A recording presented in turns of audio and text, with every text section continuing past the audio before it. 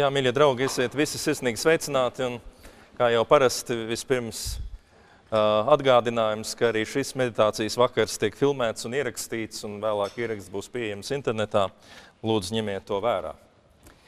Bet uh, šajā vakarā, mazliet īpašajā dienā, priekš manis, kad man ir liels prieks jūs visus redzēt īpaši un piedzīvot arī daudzas labas lietas no jūsu puses.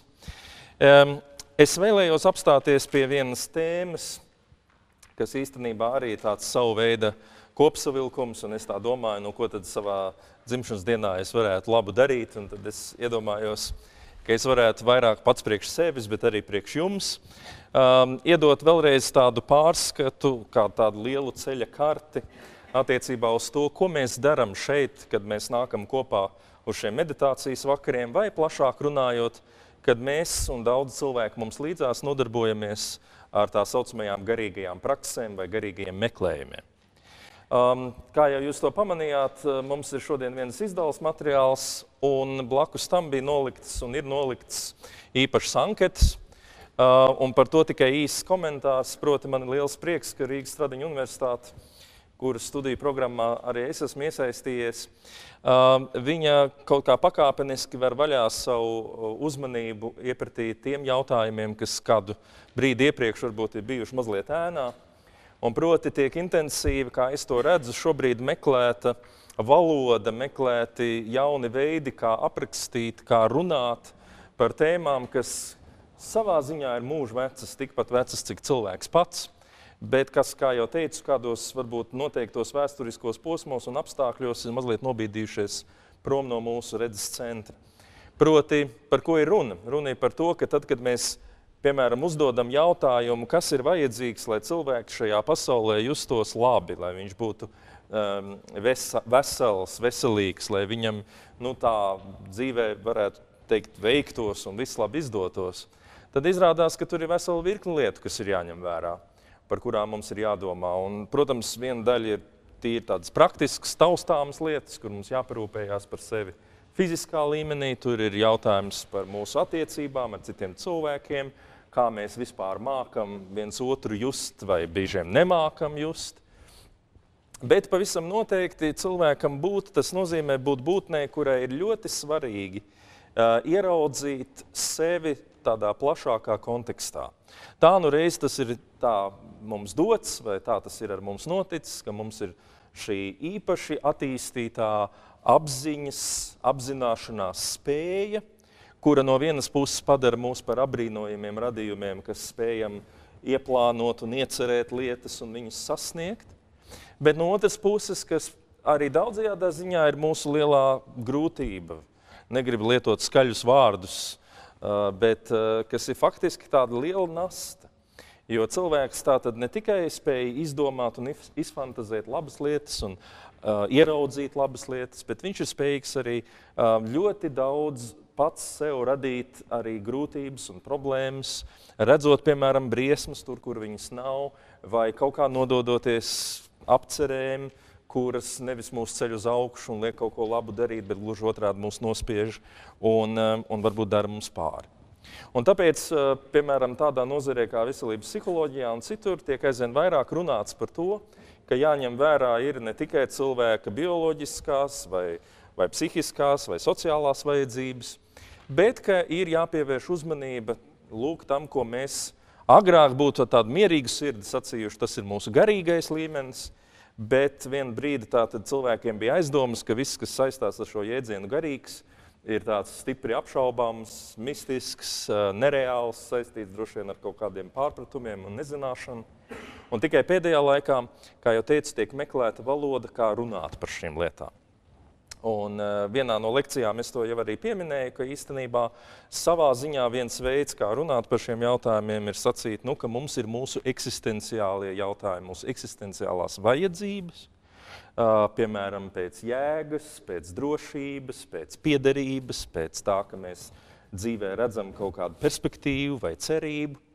Un šīs vajadzības ir ļoti nopietna lieta. Un īstenībā, ja viņas netiek kaut kā apmierinātas, tad mēs nonākam situācijā, ko, ko pavisam nopietni mūsdienu teiksim, literatūrā mēdz saukt par eksistenciālo stresu.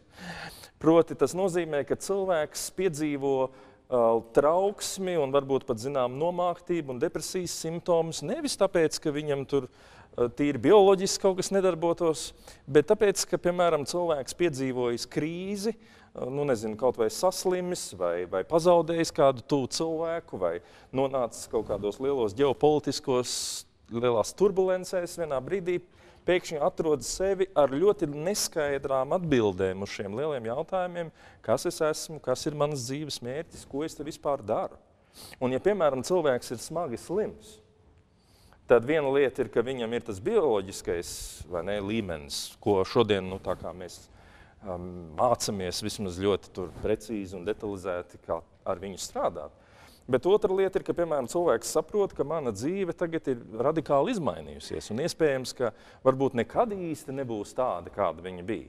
Un tad brīdī ceļās augšā jautājumi par piemēram, to pašu jēgu, Un šie jautājumi, nu, viņus nevar visticamāk, tuvākajā laikā vismaz mums nav tādas prognozes, ka mēs, piemēram, varēsim cilvēkam iedot jēgas izjūtu par viņa dzīvi, nu, teiksim, ar kaut kādu tabletīti. Ja tu iedzer, teiksim, tabletīti un tev parādās jēga. Daudz ko mēs varam iedomāties, bet šādu situāciju diezgan grūti iedomāties. Varbūt tā tablete var palīdzēt šo jēgu atrast, novest mūs kaut kādā mazliet atvērtākā stāvoklī, bet jēga ir tik komplekss jautājums, ka tas prasa kaut kādu īpašu pieeju. Un savukārt, ja cilvēks neredz šo jēgu, tad bieži vien viņš neredz arī jēgu ārstēties, cīnīties, vispār mēģināt tikt pāri šai krīzei. Un tad jebkurš ārsts jums pateiks, ka, ja cilvēks neredz jēgu, tad īstenībā tā ir ļoti bīstama situācija. Jo īstenībā prognozes un viss pārējais ir diezgan bēdīgi šajā situācijā. Tad, lūk, mūsdienās tātad tiek runāts par šo nepieciešamību pievērst uzmanību un pētīt un, un, un kaut kā veltīt īpašu teiksim, vērību, iepratī ko sauc dažādi, bet nu, tātad šī eksistenciālā veselība vai garīgā veselība, nejauksim to ar psihisko veselību. Runa ir par cilvēku, kuram teiksim, nav traucēta uztvere, kuram teiksim, viņa nervu sistēma strādā kārtībā, bet jautājums ir, vai un kā mēs spējam tikt galā ar šiem lieliem eksistenciāliem jautājumiem. Un tas ir savādi, vai ne? Nu, tād, mēs tād, tādas kultūras pārstāvi esam, ka tur ir jāaiziet gari loki, lai beigu beigās mēs nonāktu atpakaļ pie šiem it kā vienkāršajiem jautājumiem un reizē ļoti būtiskiem jautājumiem. Un es sākumā pieminēju, ka tur ir šī anketa.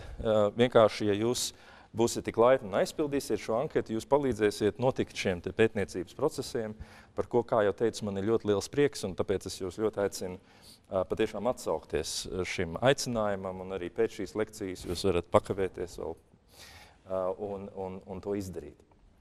Bet, domājot par to, kas tad ir šis garīgās inteliģences vai, vai eksistenciālās izjūtas. Kas ir tās, tā būtība? Es esmu uzdūries uz vienu materiālu, kas šeit ir jūsu priekšā, šajā izdevuma materiālā. Proti, tāda pētniece vai domātāja Sindija Viglsvorsa, viņa kādā vietā raksta par 21 garīgās inteliģences prasmu. Nu, tātad tas, ko viņi ir mēģinājusi darīt, viņi ir mēģinājusi kaut kā sadalīt sīkāk, mēģināt aprakstīt, kas ir tas, ko mēs varam nu, kaut kā iedomāties ar šo jēdzienu, ko nozīmē viens garīgi inteliģents cilvēks. Un šeit man jāpaskaidro mazliet, ka jūs zināt, ka viens no senākajiem jēdzieniem, līdzīgajiem, ir intelektuālā, intelektuālā inteliģence. Proti, mm, visi pazīstam jēdzienu IQ, vai ne? Tātad intelekta koeficients. Un tas faktiski bija jau 20. gadsimta pats sākums, kad sākās mm, šie testi un pētījumi attiecībā par to, ka lūk, katram cilvēkam ir iespējams iedzimta, mūsdienās tas tiek apšaubīts mazliet, bet nu labi, ka ir iedzimta kaut kāda spēja, lielāka vai mazāka spēja lietot savu prātu lai apstrādātu informāciju, lai teiksim, kaut kā pieņemtu lēmumus. Un tad cilvēkam var iedot testu, piemēram, jau salīdzinoši agrīnā jaunībā vai bērnībā. Cilvēks izpilda viņu, iegūst kaut kādu rādītāju, un tad mēs varam pēc tā diezgan labi prognozēt, tāda vismaz bija sākotnējā ideja. Mēs varam prognozēt, kas ar to cilvēku tālāk notiks, vai viņš tur iestāsies universitātē vai nē. Tātad inteliģence šai gadījumā nozīmē prasmi lietot noteiktas spējas, prasmi kaut kādā noteiktā veidā apstrādāt informāciju, reaģēt uz apkārtējo vidi. Un ilgu laiku rietumniekiem tas tā ir bijis ļoti raksturīgi. Mēs esam par galveno instrumentu, kā miedarboties ar apkārtējo vidi, uzticamāko instrumentu. Mēs esam uzskatījuši tātad cilvēka prātu, racionālo domāšanu. Atkal senas filozofiskas saknes tam, neejot tajā pārāk dziļi iekšā. Uh, ideja tāda, ka cilvēka subjektīvie pārdzīvojumi, vismaz tā tika uzskatīts, ir ļoti individuāli, ļoti iespaidojami no visādiem apstākļiem. Tas, kā es jūtos, var būt stipri atšķirīgs no tā, kāda ir reālā situācija manā dzīvē, to mēs visi zinām. Bet nu, intelekts ir kaut kas tāds loģisks, Eh, to var kaut kā mēģināt aprakstīt kaut kādās noteiktās loģiskās procedūrās, un tur var piedzīvot to pašu svarīgāko. Proti, ka, ja es esmu kaut ko izdomājis, izējot no noteiktiem izējas punktiem, tad otrs cilvēks arī ņemot tos pašus izējas punktus un lietojot tos pašus loģiskos principus, viņam vajadzētu nonākt pie tā paša rezultāta. Un līdz ar to šī sajūta, ka intelekts, eh, racionālais intelekts, ir tas, kas dod mums nu, salīdzinoši uzticams pārbaudāmas atbildes un līdz ar to tāds nu, superīgs veids, kā mēs varam dzīvi dzīvot. Bet um, kā to vēlāk cilvēki pieredzēja, tad īstenībā ar prātu mēs varam tiešām ļoti daudz ko izdomāt, bet dzīvē ir kaut kādas situācijas un norises, kur prāts piedzīvo zināmas, zināmas ierobežojumus. Un tas saistās tieši ar tām situācijām, kur mēs ļoti personiski esam iesaistīti, un kur mums ir kaut kādi lēmumi tiešām jāpieņem. Un izrādās, kā mēs vienā lekcijā arī par to runājām, izrādās, ka, ja, piemēram, sapulcinātu mēs cilvēkus, kuriem ir kaut kāda mazliet traucēta vispār emocionālā sistēma, un varētu iedomāties, ka līdz ar to viņi būs spējīgi racionāli domāt un, un ļoti perfekti pieņemt lēmumus, piemēram, nu, teiksim, nezinu, tur, kaut kādos darījumos vai vēl kaut kur. Izrādās, ka tā nebūtu nav. Cilvēks, kuram nav attīstītas viņa emocijas, nevis ir spējīgs efektīvi un precīzi un ātri pieņemt lēmumus un darīt lietas, bet gluži otrādi. Izrādās, viņš sēž un to, viņš da, to vien dara, kā domā. Un nekad viņa domāšanai īsti nepienāk beigas. Tāpēc, ka domāšana ir process, kurā tu vienmēr vari paņemt vēl vienu faktoru, un vēl vienu faktoru, un vēl vienu faktoru vērā. Un īstenībā tad, ienāc, tad, tad, tad tev ienāk prātā, ka tu vēl neesi apskatījis to no vēl viena cita skatu punkta un paņemt vēl vienus datus klāt. Un rezultātā reālajā dzīvē, tad, kad mēs izvēlamies nezinu, sev dzīves partneri vai vēl kaut ko, ļoti reti mēs sēžam pie datora un rēķinam vienkārši kaut kādus vienādojumus. Mēs pieņemam šos lēmumus izmantojot citas spējas, citas sadaļas sevī, citus inteliģences, citas inteliģences. Daži tur, teiksim, māk būt kontaktā ar savām emocijām, citiem bieži vien, teiksim, viņu ķermenis sajūtas, izjūtas ir tās, kas palīdz viņiem orientēties. Un, protams, atkal no tāda racionālā viedokļa to daudzkārt var tā apšaubīt un teikt, nu nez, nez, nez, vai tu nekļūdīsies bet īstenībā tā ir mūsu dzīve. Mēs šajā realitātē vadamies pēc dažādiem tādiem skatu punktiem un, un, un apstrādājam informāciju ne tikai vienā iespējamā veidā. Tad, lūk, tieši tāpēc pēdējos gadu desmitos ir šī interese par dažādajām citām inteligencēm. Uh, bija viens autors, kurš vispār attaisīja vaļā to lauciņu un teica, tas, ka cilvēks ir spējīgs pildīt testu ar matemātikas vienādojumiem, mums galīgi nepasaka to, kas ar viņu dzīvē notiks. Tāpēc, ka matemātika ir ļoti svarīga lieta, bet tas galīgi nav vienīgais, kas ir vajadzīgs. Viņš tur runāja par daudzām inteligencēm.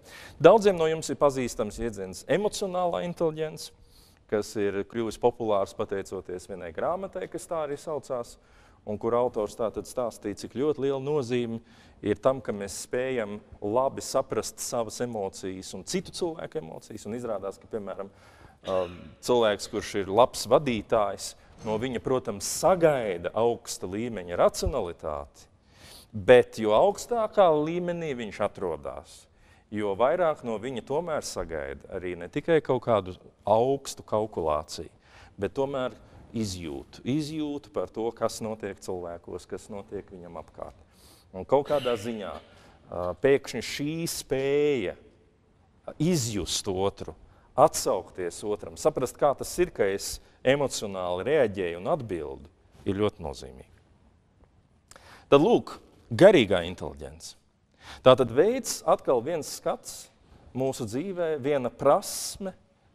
Patiesībā šeit viņi runā par 21 prasmi, bet es gribētu teikt, ka pēdējā konsekvencē tas viss saplūst vienā veselumā. Tas tāpat kā tavs prāts, tur viņš māca daudzas operācijas darīt, bet beig beigās tu vienkārši domā. Tieši tāpat tas ir ar šo garīgo līmeni. Un tas, ko es vēlos šeit izdarīt, vienkārši izējot cauri šai lapai, ir kā jau teicu, sev un arī jums vēlreiz atgādināt, kas ir tās jomas, par kurām mēs runājam. Tad, kad mēs runājam par cilvēku garīgo attīstību, par viņu garīgo inteliģenci, par garīgajām praksēm, par garīgo izaugsmu, par garīgumu kā tādu. Protams, katram ir sava, varbūt sava automātiskā atbilde uz to. Un es negribu noliegt, ka, piemēram, ir cilvēki, kas saka, nu, kas ir garīgums. Nu, garīgums ir manas attiecības ar Dievu. Nu, ļoti, ļoti skaidra, vienkārša atbilde. Bet, ja jūs paskatīsieties, ko šī autora ir izdarījusi, viņa patiesībā ir mēģinājusi aprakstīt arī tai skaitā, kas tad, kam tad būtu jānotiek vai par ko mēs runājam šajās attiecībās ar Dievu, kas ir tas, kas, kas cilvēkā notiek un ko šī garīgā inteliģence patiesībā nozīmē. Viņi tātad izdala 21 punktu, ātri iziesim cauri viņiem un lūdzu vēlreiz no savas puses, ka kad mēs tam ejam cauri, tad vienkārši padomāsim par to, eh, kas varbūt šobrīd ir tas, uz ko mana kaut kāda iekšējā pasaule visvairāk rezonē. Jo mēs nevaram to visu aptvērt, bet vienmēr ir kaut kas, kas ir īpaši aktuāls, kam varbūt ir jāpievērš uzmanība, ko es esmu varbūt kaut kādā ziņā palaidis garām, un tikai tas viss kopumā īstenībā darbojas kā viena uh, skaidra uh, sistēma. Un tā pirmā sadaļa ir piecas lietas, kuras patiesībā angliski visas tiek uh, iesāktas ar vārdu awareness, ko es esmu patvaļīgi atļāvies iztulkot kā skaidrība par, kas, es saprotu, ir ļoti slikts tulkojums, jo awareness it kā nozīmētu apzināšanās, uh, ka es kaut ko ņemu vērā. Bet, uh, bet runa ir par to, ka šajā garīgajā līmenī es mācos uzdot jautājumus un rast atbildes uz jautājumiem, kuri normālos apstākļos kaut kur manā fonā tiek risināti, bet parasti es neesmu lūk, aware, es neesmu līdz galam skaidrībā, kas tas ir. Es nepamanu to, es īsti neesmu iedziļinājies tajā. Un atcerieties, esam to jau vienreiz pieminējuši, ka garīgums savā ziņā ir apzināts cilvēka brieduma process. Iepratī tam, ka tas notiek vienkārši uh, uz meklējumu un kļūdu bāzes. Ja, tas ir tā kā tu vari ieiet tumšā telpā, atcerieties, tas piemērs ir, un tu viņu vari apgūt vienkārši atdauzoties pret visiem iespējamiem krēsliem un galdiem un stūriem, un tad vienā brīdī tev kaut kāda mentālā karta veidojās. Variants ir, ka tu vari ieslēgt gaismu. Un tas nozīmē, ka tu mērķiecīgi apskati to telpu. Tas var bišķiņi samazināt tos sitienus un tos, tās sāpes. Un precīzi tas pats ir šeit, šajā garīgajā inteliģences līmenī. Ko tad iet runa? Par ko mums jābūt skaidrībā? Pirmkārt, par savu pasaules uzskatu. Ko tas nozīmē? Tas nozīmē, ka es mācos apzināties, ka eksistē veids, kā es skatos uz pasauli. Tas izklausās banāli vienkārši. Bet lūdzu, pievērsiet tam uzmanību. Stāsts nav par to, ko es redzu, kādas informācijas daļas ir manās smadzenēs. Bet jautājums ir par to, ka ir noteikta veida pieeja vispār tam, kā es pasauli uztveru, tam, kā es viņu interpretēju, kas ir mani izējas punkti. Un lūk, atkal ir daudz cilvēku, kuriem ir pilnīga neskaidrība par to, kas tas īstenībā viņu gadījumā ir. Un viņi dzīvo ar lielu pārliecību, ka tas, kā es redzu pasauli, ir absolūti patiesība. Nu, es taču redzu tā, kā ir. Citiem ir visādi aizspriedumi un dogmas, un, un viņi vispār diezgan lielas muļķības dara, vai ne? Jo es taču redzu, kā ir.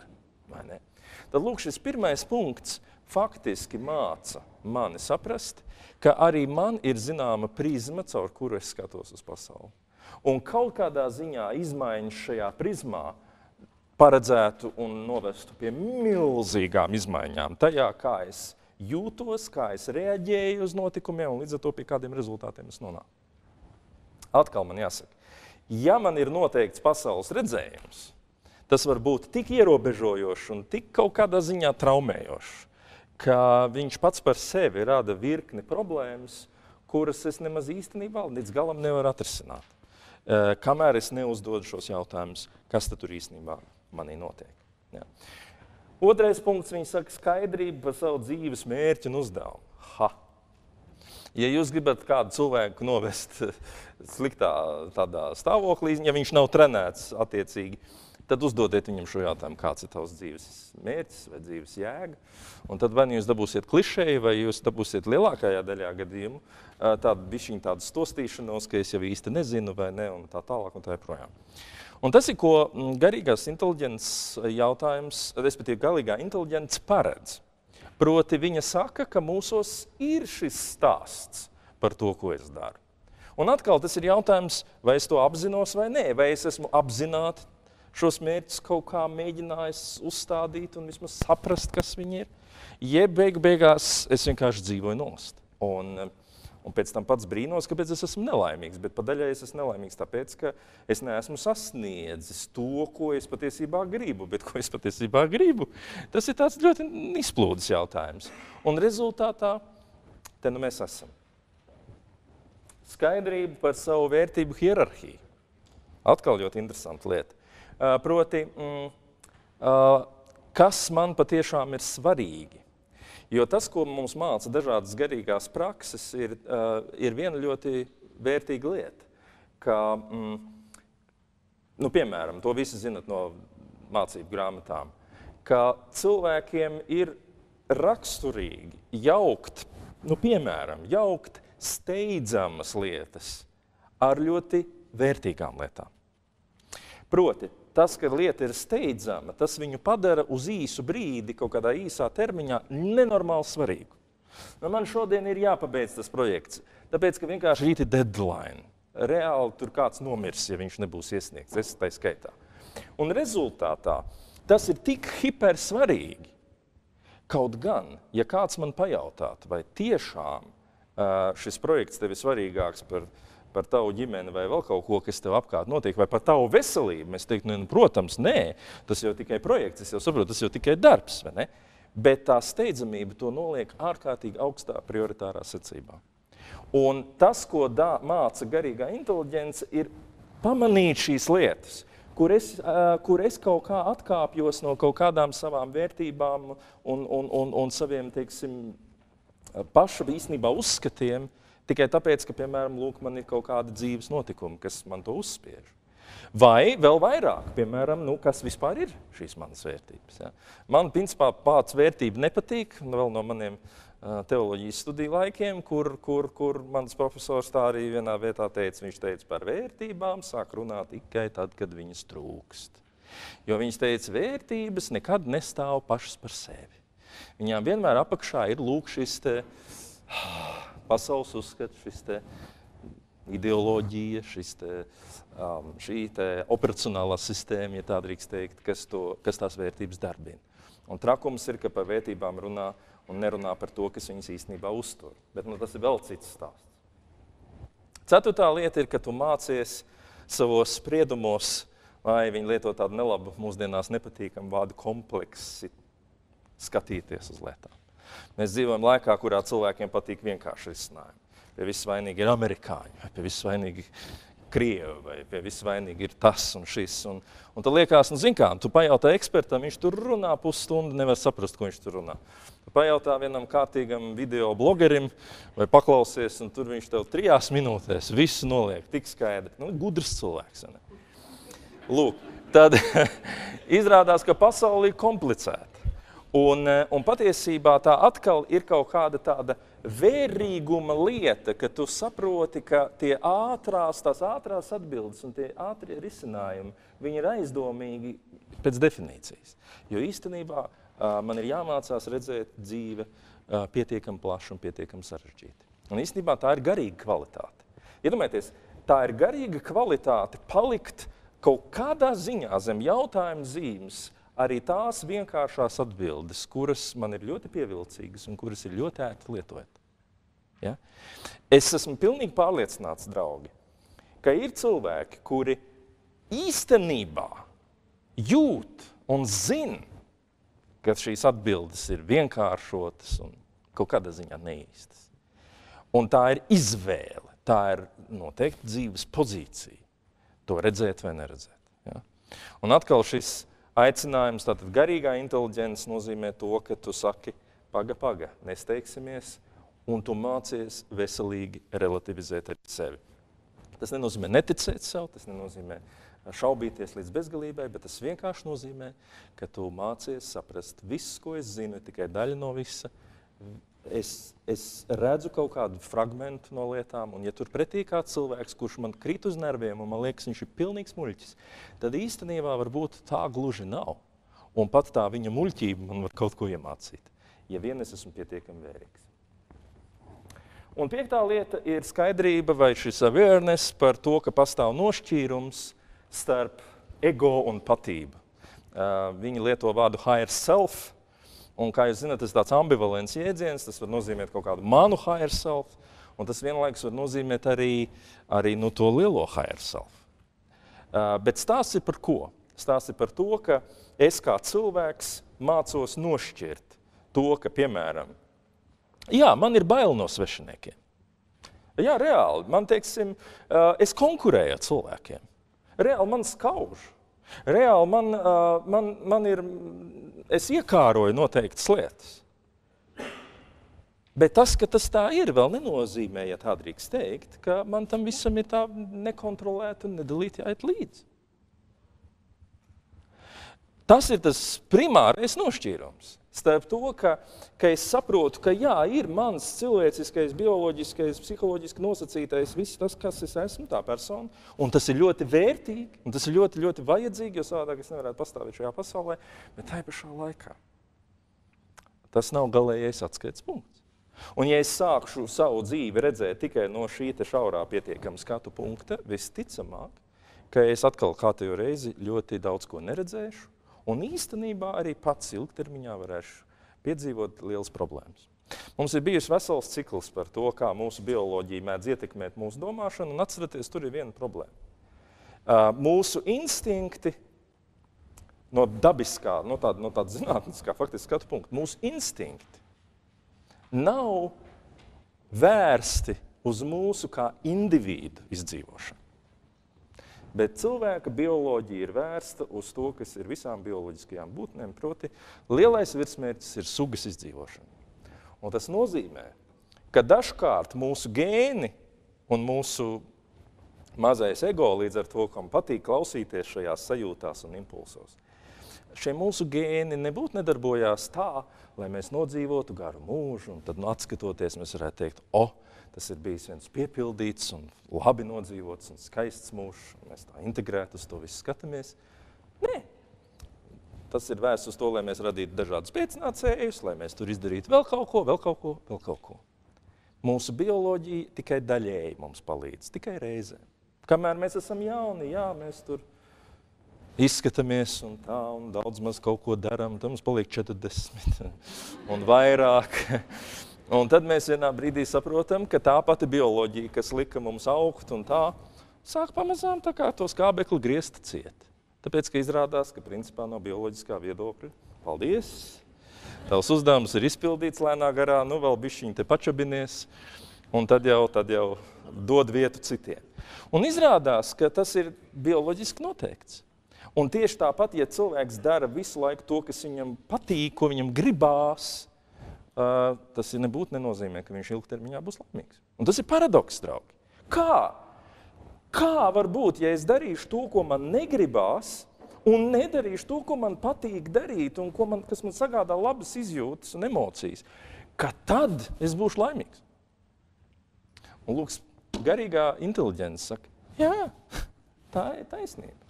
Tev ir jāmācās nošķiet, ieraudzīt, ka, ka tas, tas, tas sajūta un doma un ideja mučkulis, kas tev ir, ir ļoti apbrīnojams, ļoti vērtīgs, bet tas nav alfa un omega. Tur ir vēl kaut kas vairāk par to. Uh, un jūs redzat, ka visi šie pirmie pieci punkti iet zem viena liela virsraksta apzināšanās. Proti, patiesībā tas galvenais primārais ir tas izprast sevi, apzināties, apzināties, apzināties, apzināties pievērst uzmanību.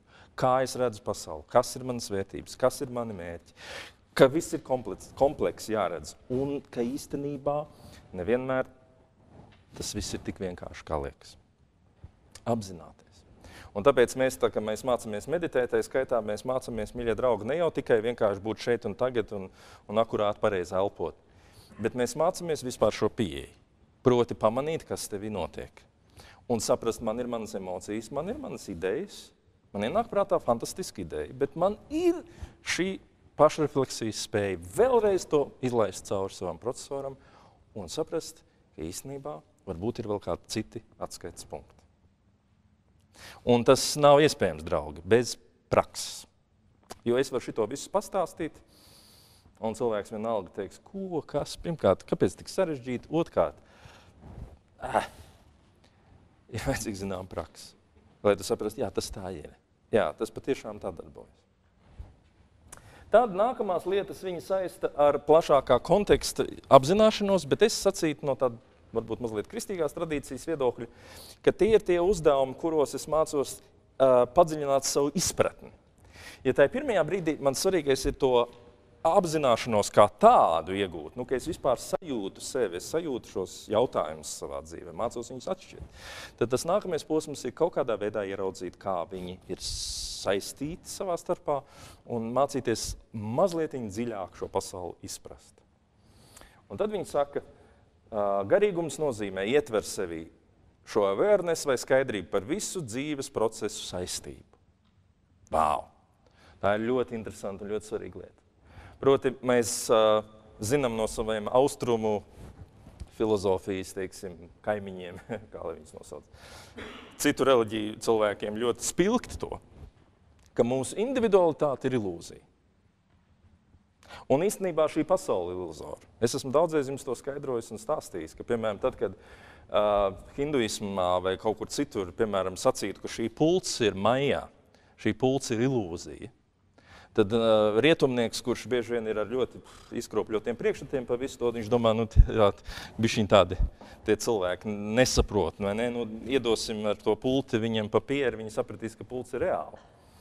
Bet tas, ko viņi pasaka, ir, pavisam kaut ko citu. Viņi saka, kur šī pults bija pirms simts gadiem un kur šī pults būs pēc 200 gadiem. Un pēkšņi mēs atklājam, ka pirms simts gadiem viņi nebija.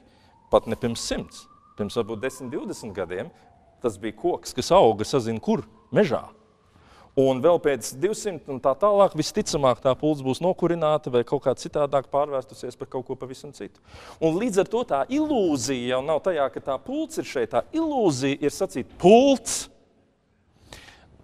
vienu stadiju garā procesā, pēkšņi absolutizējot un pasakot, oh, pults ir.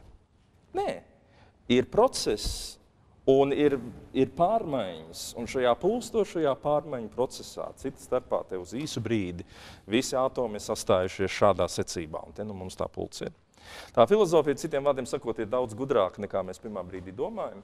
Un šīs pašas filozofijas pārstāvis saka, arī tava individualitāte, arī tavs es zinu, es māku, es pieņemu lēmumus un tā tālāk. Kaut kādā ziņā arī ir maija, arī ir iluzors.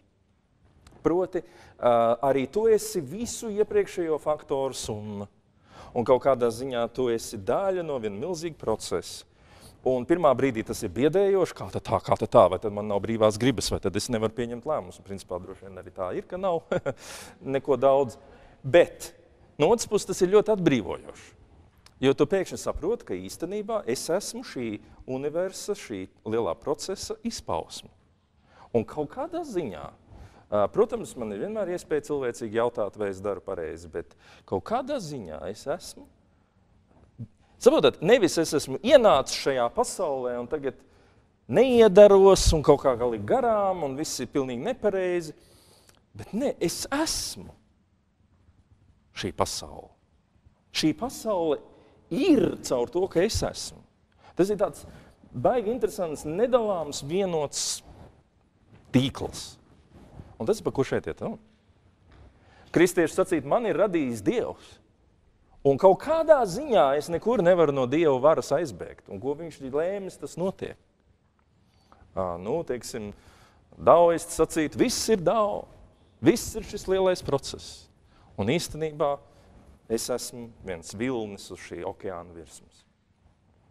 Un jūs saprotat, nepārspīlēsim, protams, bet atkal tāda interesanta, svarīga lieta. Saprast, nekas nav tā burtiski nocērtams, nu tā, ka vat, indivīds vienkārši atnāca un izdarīja, un es tagad atnākšu un izdarīšu. Nē, tas viss ir ļoti komplicēti.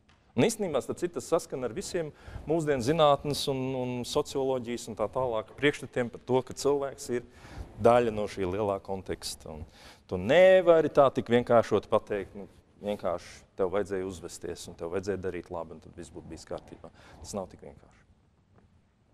Procesi saistīti. Uh, awareness par citu cilvēku pasaules uzskatiem. Es piebilstu, ka tātad valodas ir dažādas, kādā cilvēka runā, un viņu skatījumi ir dažādi. Un šis ir ļoti atkal svarīga lieta.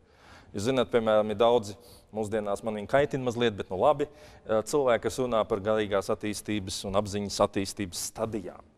Man kaitina mazliet šis vārds stadijas, tāpēc, ka tas tāds arogants, tāds sajūta, nu, ka tie tur ir tajā pirmajā klasītē, un es esmu jau tur, ziniet, septītajā un tā. Un kaut kā vienmēr tas autors tur ir kādā tuvu beigām un tā. Uh, bet uh, tas ir aroganti, bet tā ir taisnība, ka cilvēki domā dažādi. Un tad, kad mēs bijām kā bērni, mēs domājam vienā veidā. Un, piemēram, cilvēks, kurš ir pieredzējis būt atkarīgs no citiem un visu darīt ar citu rociņām, nu, viņš reāli pasauli redz un izjūt un darbojas savādāk. Tāpēc mācīties saprast, ka varbūt mēs nesaprotamies, nedzirdam viens otru, tāpēc ka mēs patiešām atrodamies dažādās, absolūti dažādās situācijās, absolūti dažādās pasaules, dažādos pasaules uztveres modeļos.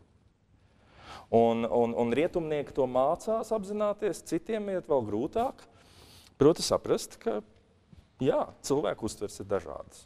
Un atkal šī prasme pacelties pāri, transcendēt savā ziņā smalki smalku valodu lietojot, transcendēt savu redzējumu un atvērties kaut kam citam. Laika uztveres plašums, proti mācīšanās redzēt lielākās, lielākās robežās procesus. Tas ir ļoti svarīgi. Piemēram, atkal daudzas trauksmes mazinās, ja tu, piemēram, saproti, ka, ka arī sabiedrības līmenī ir kaut kādas lietas, kuras, kuras, kuras notiek. Un, un, un ir kaut kāda soļa atpakaļ, un ir kaut kādas slimības, kas ir jāizslimo, un tas ir. Un tas ir veids, kā tas notiek. Tas ir kā, es, kā mans kolēģis Kaspars Simonovičs to brīnišķīgi stāsta attiecībā par laulību. Viņš saka, tad, kad tu saproti, kā apmēram attiecību dinamika notiek nu, normālos apstākļos, viņam tur tādi ļoti konkrēti priekšstati, bet nu labi, kā tas, teiksim, viss notiek, tad tu iegūsti pavisam citu garšu un saprašanu. Tu saproti, ka jā, šobrīd mēs esam kaut kādā tādā posmā un ir ok. Un man nav uh, jāiedomājās, ka viss ir nepareizi un es tagad pārlikšu uz citām sliedēm un tad viss būs labāk. Īstenībā tie ir procesi, kas, kas vienkārši notiek. Un, ja tu mācies tādā veidā to ieraudzīt, tas nenozīmē, ka tu neesi spējīgs darboties, bet tas vienkārši nozīmē, ka tu iegūsi šo plašumu. Skaidrība par cilvēku uztveres iespējām un robežām Arī ļoti interesanta lieta. Garīga inteligence, nu, mēs faktiski jau pie tā pietuvojāmies iepriekšējās reizēs, bet tātad tu saproti arī to, ka ir kaut kādas lietas, kuras tu nereģistrē, kuras tu neesi spējīgs varbūt uztvert, un, um, un tas nenozīmē, ka viņas nav. Piemēram, šī, par, šī, par šo punktu domājot, man ir vienmēr bijis tādas personiskas, ļoti interesantas, priekš manis interesantas pārdomas, teiksim, uh, domājot par evaņģēlī tekstiem kur ir aprakstīti dažādi tur, nezinu, brīnumi un kaut kādas eņģeļi un tā tālāk. Un tā tālāk. Un, protams, ja mēs viņus paņemam ļoti mehāniski un burtiski, tā ir viena lieta. Un tad man ir grūtības ar to visu. Un tad es saprotu, ne, ok, nu tā mehāniski es to tā nevaru saprast, un tas ir ļoti sarežģīti, tas, tas kaut kā nozīmētu atteikties no pārāk daudz kā. Nu, vai tas nozīmē, ka tas nav? Un izrādās, ka, protams, arī tāda pozīcija ir iespējams, bet izrādās, ka es varu tos pašus procesus uh, izteikt, izprast mazliet citā veidā. Un bieži vien tas, kas man pirms kaut kādiem gadiem varbūt liktos, no tā ir pilnīgi pasaka, kaut kam tādam ticēt, tas nozīmē vienkārši ticēt laumiņām un fejām. Tad šobrīd es teiktu, nē, nē, pagā, iespējams, ka tā ir valoda, kura mēģina pateikt to, kas cilvēku valodā ir ļoti sarežģīti pasakāms. Nu, tas klasiskais piemērs ir par garu. Kāds, piemēram, mēdz būt dažādās organizācijās, dažādās cilvēku kopībās, draudzēs, tā skaitā, bet arī citur. Un tu ienāc iekšā un tu jūti to garu. Un nav slikts termins īstenībā, priekš ikdienas lietošanas ka tur tas gars ir viens, un tu ienāc citā vidē, un tur ir pavisam cits gars. Un, protams, tu to vari racionāli sadalīt kaut kādās komponentēs, mēģināt aprakstīt ar citiem vārdiem, bet beigu beigās stāsti par to, ka mums ir tā grūti uzturama lieta. Atkal šeit draudzē esam bieži lietojuši kā piemēru iedzinu korupciju. Mēs viņu lietojam tā, it kā korupcija būtu kaut kāds tāds, ko var apkarot, ko var, teiksim, izskaust, eventuāli noķert. Nu, bet mēs jau saprotam, ka mēs ar šo vārdu aprakstam procesu, smalks process. Te pašā laikā korupcija ir reāla. Korupcija reāli traucē lietas. Un, ja viņas ir, tad, tad ir. Un senais cilvēks teikt, ka korupcija jāizdzen laukā. Nu, ne jau gluži ar kadiķīšiem, bet nu, ar kaut ko citu varbūt. Bet tās ir parādības. Skaidrība par garīgajiem likumiem, proti, ka līdzās fizikiem, fizikāliem likumiem eksistē likumi, kas kas apraksta mūsu attiecības, kas apraksta to, ka, ja mēs kaut ko darām, mēs saņemam tam pretī. Un visbeidzot, viņš šeit liek transcendentālās vienotības pieredzi, kas ir tāda atvērtība, transcendentālā pieredze šajā gadījumā nozīmē atvērtību tam, kas ir pāri esošajam. Un, šeit es gribētu jums atgādināt kristietības to galveno vēsti, kāpēc kristieši tic Dievam. Un kāpēc kristiešiem ir maķinīt problēma sacīt, šī pasaule ir dievs vai dievišķi? Tāpēc, ka tad, kad es pasauli, pasaku, ka šī pasaule ir dievišķi, es ar to autorizēju visu, kas tajā notiek. Un senajās civilizācijās, tai pašā Eģiptē un Mezopotāmijā, tas bija precīzi tas. Tā tad viss notiek tā, kā vajag. Faraons ir augšgalā, viņam ir visas tiesības, tur apakšā ir kaut kādi, nezinu, vergi, Un, un tas ir kā Dievs ir noteicis, jo šī pasaule ir dievišķa. Šī pasaule ir ar dievišķu kārtību apveltīta. Un kristīgajā filozofijā tas bija ļoti nosvērts sacīt, ok, šī pasaule ir, jā, viņi ir dieva radīti, viņi izpauž kaut kādā ziņā savu radītāju, bet radītājs ir kaut kas vairāk par to. Un tas ļauj mums uzdot jautājumus par to, kas šeit notiek, un eventuāli arī censties vismaz kaut ko mainīt tajā, kas notiek.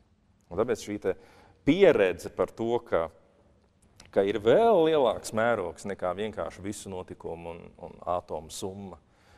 Kaut kādā ziņā garīgi ir ļoti, ļoti nozīmīgi.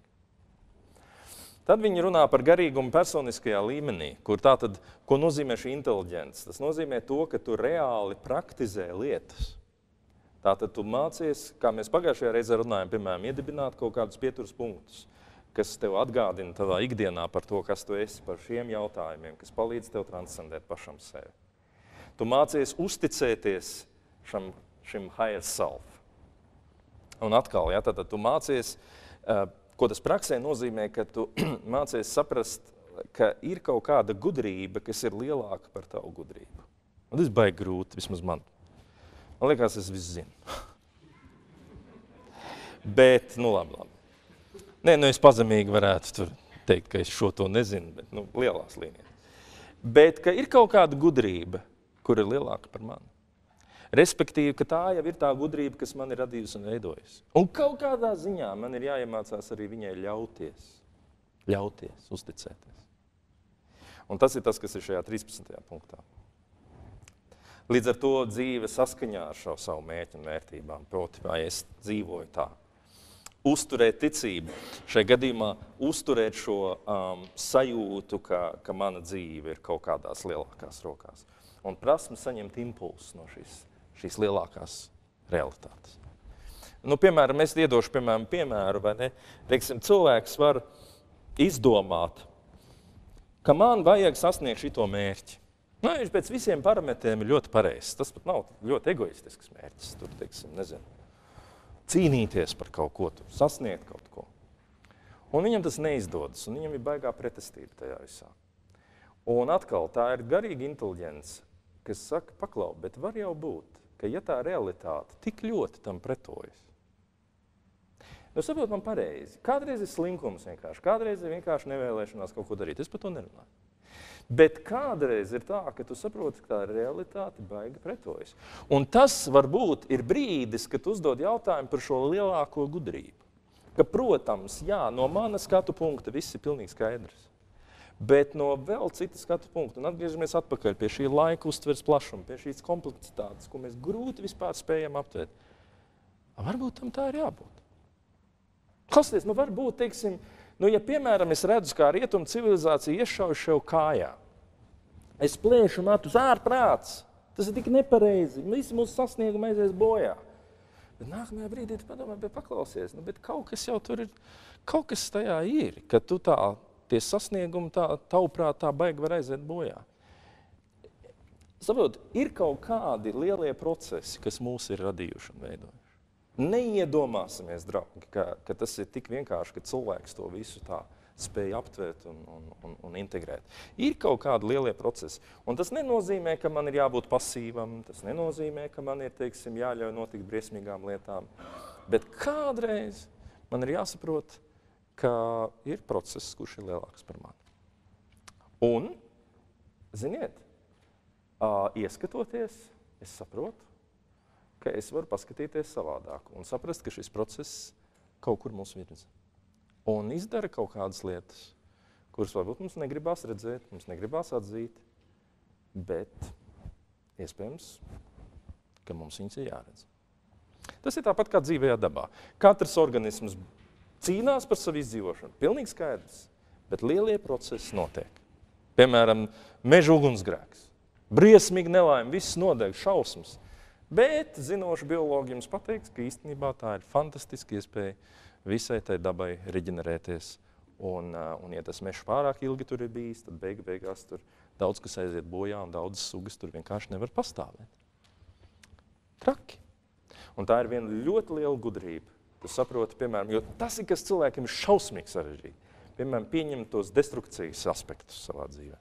Pieņemt, nu tagad pateikšu ļoti skaļu frāzi, pieņemt to, ka nāvei ir sava vieta. Baigi traki. Nu, kādu nu, kā aizmirst par to? Nu? Ir kaut kāda gudrība, kas ir lielāka par mums, un mēs mācāmies ar viņu sadarboties.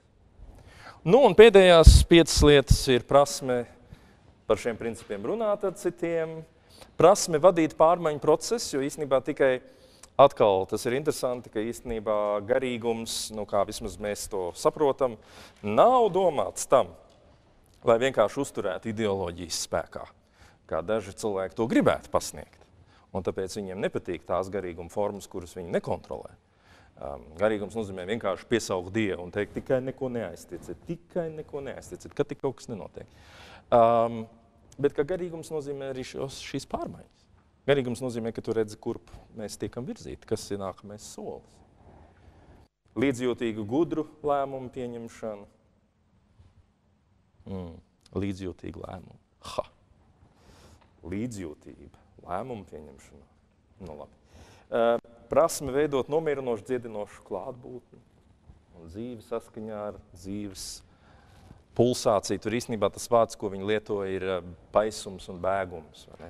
Kaut kas nāk un kaut kas atkāpjas un ir tā lielā plūsma. Tātad šīs pēdējās lietas ir, ka tu mācies tātad šo domāšanas vai inteliģences veidu vai līmeni tātad izplatīt un saproti, ka, ka īstenībā mēs visi esam tik ļoti, lūk, vēlreiz cieši saistīti savā starpā, ka mums ļoti nosvara šos visus līmeņus lietot. Kā jūs saprotat, šis ir galopa skrējiens, bet um, tas, ko es tātad vēlos šovakar īpaši jums pievērst jūsu uzmanību, tātad, ka šeit ir tādi, manuprāt, ļoti svarīgi četri lielie šie soļi.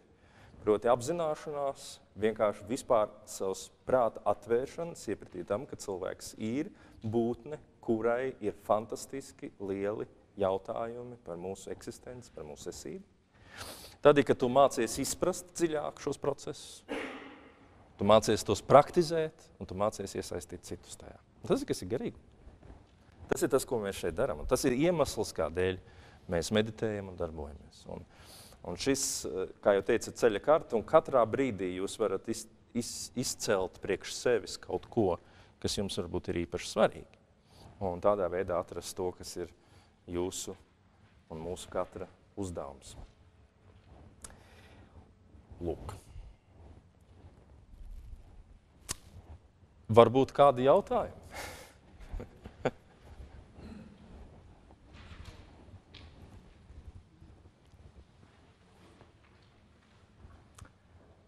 Kaut kas, ko gribētos pārunāt. pārunāt. Jā.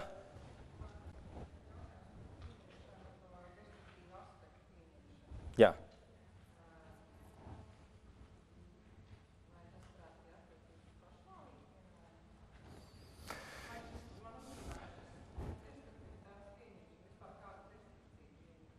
O. Jūs uzdodat sarežģītu jautājumu. Es domāju, ka ja mēs runājam par destrukciju, kuru radu es, tad tā ir diezgan problemātiska lieta. Gan attiecībā pret citiem, gan attiecībā pret sevi. Jo lielākuma tiesa tad, kad es radu destrukciju, tas viss ir balstīts kaut kādās interesēs, tas ir balstīts manā šobrīdējā redzējumā. Jo es tagad esmu izlēmis, es tagad esmu pieņēmis lēmumu. Protams, protams, protams, dzīve ir nenormāli komplicēta. Un, protams, ka es arī uh, būtu augstākajā pakāpē negodīgs, ja es sacītu, ka es nevienam neradu destrukciju un es tur tāds maigs un pūkains esmu. Mēs esam daļa no pasaules, kur ir, kur ir tā būvēta un tā atkal viņas gudrība, ka, ka tur ir tās izaicinājums un tāda, tādas konkurences un tāda cīņa. Tas, tas nav tikai cilvēkiem, tas ir pilnīgi visām dzīvējām būtnēm. Bet tad, kad es runāju par destrukcijas pieņemšanu, es drīzāk runāju par to, ka ka ar mani notiek kaut kādas lietas, kuras pirmajā brīdī priekš manis ir absolūti skaidri negatīvas, sliktas, nelabas, lūk, destruktīvas. Un tajā brīdī man gribās A, pretdarboties, B, pārdzīvot, nu, visādā veidā reaģēt uz šo ļoti aplamo un nepareizo lietu. Bet tas, ko, tas ko, par ko ir runa šajos te, nu, garīgās inteliģences punktos, ir tas, ka es varētu mācīties saprast, tanī brīdī mācīties saprast to, ko neviens nedrīkst no malas, mēs vienreiz par ļoti līdzīgu jautājumu runājam, ko neviens nedrīkst no malas darīt, bet ko es varu darīt, proti es mācos saskatīt. Arī tajā meža ugunsgrēkā, kas manā dzīvē ir noticis, arī tajā problēmā, kam es esmu izgājis cauri, arī tajās attiecībās, kuras ir sabrukušas, arī, arī tajā, ko es, ko es esmu pazaudējis un tā tālāk. Es mācos arī tajā saskatīt šo kaut kādu lielāko gudrību. Un man, piemēram, ļoti palīdz tas, ka es saprotu, ka pilnīgi viss, kas man šobrīd ir dots, un kas es esmu savā ziņā, ir šī lielā procesa, dieva radītāja, vienalga, kā mēs to sauksim, um, šī lielā procesa rezultāts. Un savā ziņā man ir jāuzticas tam procesam. Es nevaru viņu, es nevaru darīt tā, ka es viņam uzticos tikai līdz tam brīdim, kamēr es rados. Un tagad es saku, tagad es viņam vairs neusticēšos tālāk. Tagad es zinu, kā lietām ir jānotiek, un es viņus tagad regulēšu. Un brīdī es saprotu, paga, paga, paga. Tas process tevi radīja. Un tas process tevi vēda tālāk. Un tas process, piemēram, saka, pietiek, šai virzienā vairs tālāk nē. Un tad brīdī es, protams, varu tur briesmīgi apvainoties un, un, un lūgt būt destruktīvs pret citiem, bet es varu mācīties saprast, tā ir. Un ziniet, cik tas savādi. Es šeit esmu tikai tāpēc, ka ir bijušas neskaitāmas paudzes pirms manis, kuras ir devušas man vietu. Viņas ir devušas man vietu. Un, eh, un tāpēc es te varu būt. Un man ir tendence to aizmirst. Un uzskatīt, ka man nevienam vieta nav jādod. Ja? Ka man, man, man ir tikai jāņem, man ir tikai jādabū labais. Un, un tad es saprotu, nē, nu, tas nav tik vienkārši. Un, eh, piemēram, teiksim, viens tāds brīnišķīgs teksts, eh, nu, tas tāds dramatisks, bet, manuprāt, viens no skaistākajiem tekstiem um, Bībelē, jaunajā Bībeles tulkojumā no Ieba grāmatas paša noslēguma. Tas ir tāds dramatisks teksts, brīdina, bet, bet reizē, manuprāt, ļoti skaists teksts. Tikai nepārprotiet viņu. Uh, un tas teksts ir tāds. Jaunais tulkojums brīnišķīgi viņu iztulko. Un teksts ir tāds. Un, un Ieps nomira vecs, būdams un sāc savu dienu.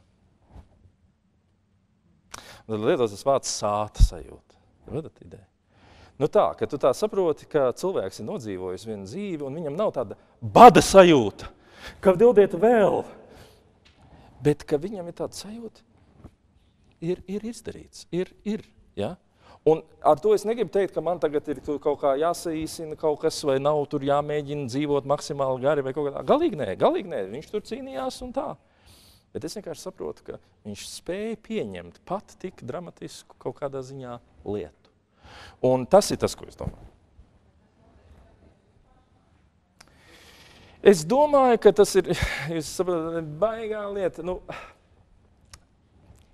Vienkāršotā atbilde, protams, ir, ka, ka tajā brīdī, kad tu pats kā, atņem sev šo lielo iespēju, uh, tajā brīdī tu visticamāk, ļoti daudzos gadījumos, tu realitātē to izdari tāpēc, ka tu lūk, redzi tikai vienu daļu no visa, un, un, un rezultātā tev tas izskatās tā. Un, diemžēl um, gan tu pats, gan tev apkārtējie cilvēki, gan viss tā situācija ir tāda, kas tev nav palīdzējusi no tā izkļūt laukā.